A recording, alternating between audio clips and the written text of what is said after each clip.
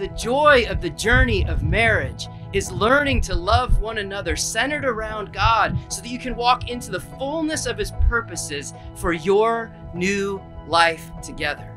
The two becoming one. I'll be forever by your side.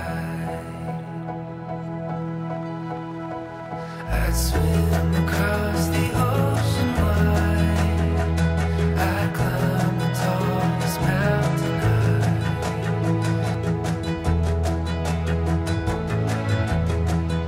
Jeff is someone to me, and I think to so many people, who is just a solid foundation. He's a friend who is very centering. We were talking about a lot about what we considered the default. He was just so excited, Natalie, to be like, Zach, my default, I get to go home to Natalie. Just that, that, that an unconditional love and that excitement, that joy of just going home to someone and just knowing that that's your person. This man loves you so much.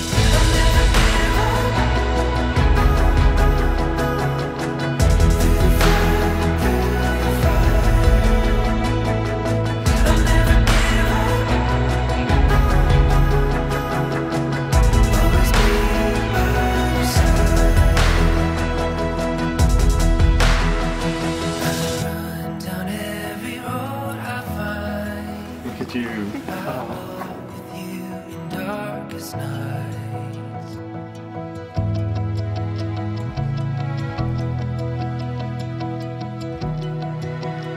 the name of God, I, Jeff, take you, Natalie, to be my wife, knowing in my heart that you will be my constant friend, my faithful partner in life, and my one true love. I promise to always love you and to always be your friend.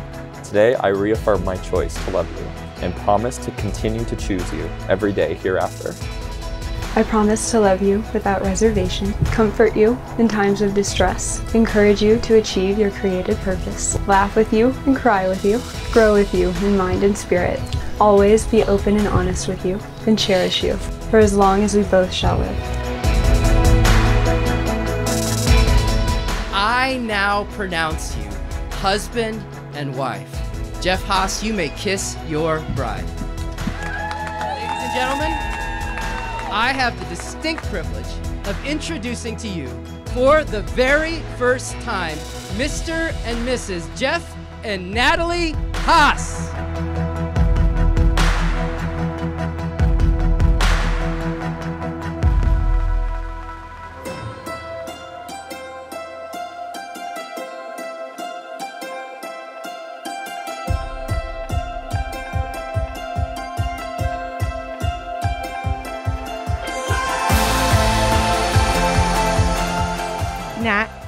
You are God sent. You are a soul sister to me. I love you more than words can express, and I'm so proud of you.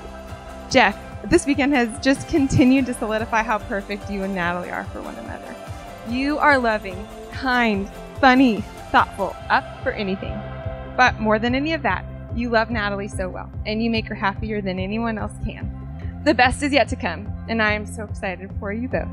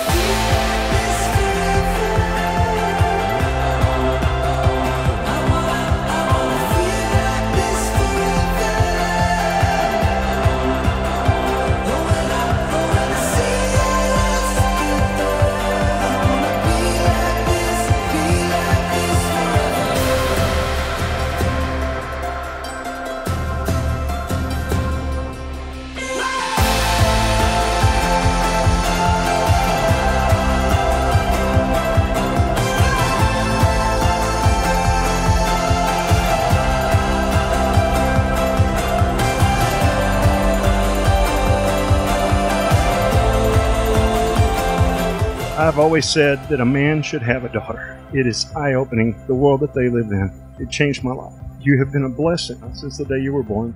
As the father of the bride, friends of mine were asking me, you know, how do you feel coming up to the wedding?